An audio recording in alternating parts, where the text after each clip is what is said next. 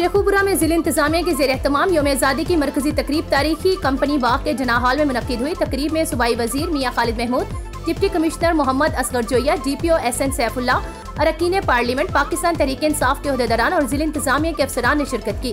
तकरीब का बाकायदा आगाज़ सायरन बजाकर और परचम कशाई करके किया गया। तकरीब के शुरा ने कौमी परचम लहराया और मुलकर कौमी तराना पढ़ा। पुलिस के चाको चौबन दस्ते ने कौमी परचम और तकरीब के मेहमानों को सलामी पेश की, जबकि इस मौका पर योम आज़ादी का केक भी काटा गया। परचम कशाई के बाद सूबाई वज़ीर ने डिप्टी कमिश्नर मोहम्मद असगर जोया के हमरा वजी अजम की क्लीन ग्रीन पाकिस्तान मुहिम के तहत तारीखी कंपनी बाग में पौधे लगाए और मुल्क कौम की तरक्की, सलामती और क्लीन ग्रीन मुहिम की कामयाबी के लिए दुआ की। डिप्टी कमिश्नर ने वजी अजम की क्लीन ग्रीन मुहिम के तहत शहरियों में मुफ़्त पौधे भी तकसीम किए। बाद अजाम, या खालिद महमूद और deputy commissioner Mohammad Asghar Joya district jail गए और जेल में कैदियों और झलवालातियों में गिफ्ट तकसीम किए और इस मौका पर तकरीब से खिताब करते हुए सूबाई वज़ीर का कहना था कि कैदियों को अपने किए हुए जुरान पर सोचना चाहिए। कि आज़ादी का दिन कैद में क्यों गुजार रहे हैं? उन्हें अपने किए की सजा भुगत कर आइंदा के लिए अपनी सलाह करनी चाहिए।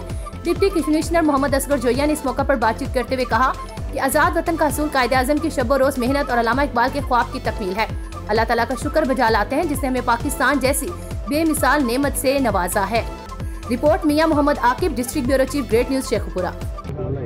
ये दिन ज़िंदा कौमें बड़े जज्बे, बड़े जोश के साथ, बड़े बलबे के साथ मनाती हैं। आज़ादी एक बहुत बड़ी नेमत है। अल्लाह का शुक्र है कि कायद अज़म मोहम्मद अली जना की काविशें, उनकी टीम की काविशें, और ये उसका नतीजा है कि 14 अगस्त उन्नीस को पाकिस्तान मार्द वजूद में आया। इस मुल्क के असूल के लिए हमारे बावजदाद ने बहुत कुर्बानियाँ दी।